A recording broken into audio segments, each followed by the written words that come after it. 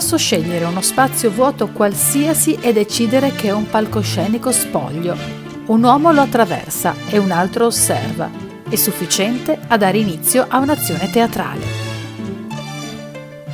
E voi dove lo fareste? Uno spettacolo teatrale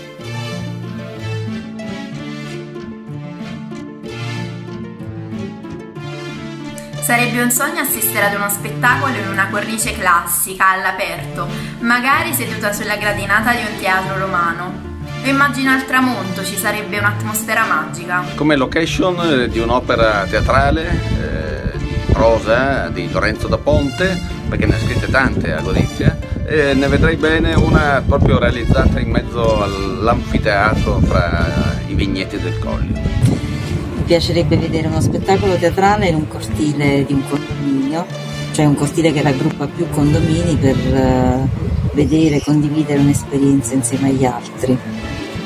Io sarei felice che uno spettacolo venisse messo in scena nei giardini degli ospedali, soprattutto con la situazione attuale.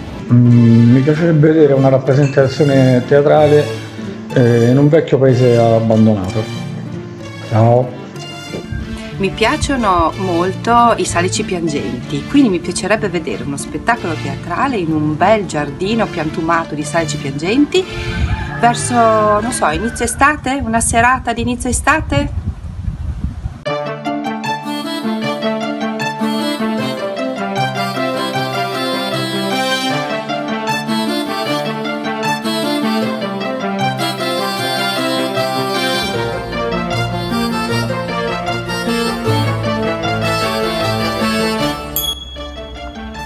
posti, ce n'è tanti e trovo sia molto bello questa cosa di essere inseriti in una città che io trovo bellissima, che è Gorizia, e che si presta, si presta davvero ad avere diversi angoli, anche magari non ci si può immaginare. Mm, abbiamo fatto tante cose al Parco del Cornini, mi viene in mente eh, più edizioni di quella che si chiamava Caccia alla favola, che abbiamo, che poi so è stata portata anche a Villa Manine e in altri posti.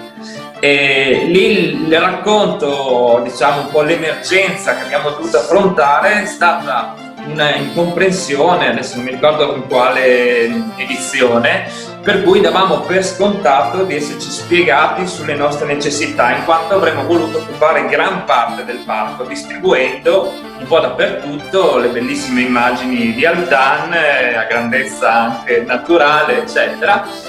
Arrivando il giorno prima per l'allestimento, eccetera, abbiamo scoperto che eh, l'area a cui anche avevamo pensato mm, non era stata mh, mm, ripulita per quanto riguardava il taglio dell'erba, lo sfalcio, eccetera. E ormai non c'era più possibilità di chiamare il personale perché aveva i suoi orari, eccetera.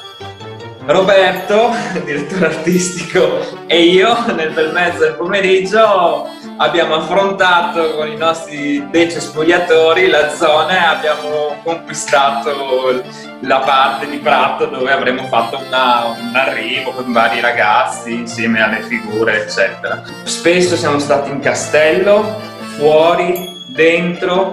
Un evento particolare che ci ha impegnato per tutta una settimana è stato quello di eventi verticali perché abbiamo utilizzato una parete del castello, nel senso che loro agivano molto bello, agivano di sera, di notte, mm. appesi con tutte le sicurezze, eccetera, su questa parete che abbiamo dovuto illuminare.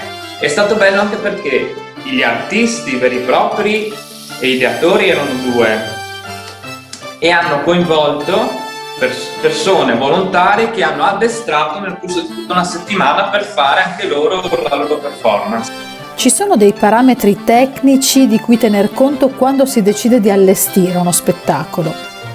È importante sempre che un luogo sia accogliente, silenzioso, che e una cosa che magari non si bada sia all'aperto sia al chiuso, spesso è la luce.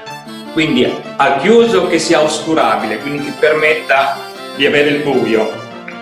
All'aperto sì che ci sia luce, ma che anche il giro del sole non dia fastidio sia al pubblico sia a chi rappresenta il proprio, il proprio spettacolo.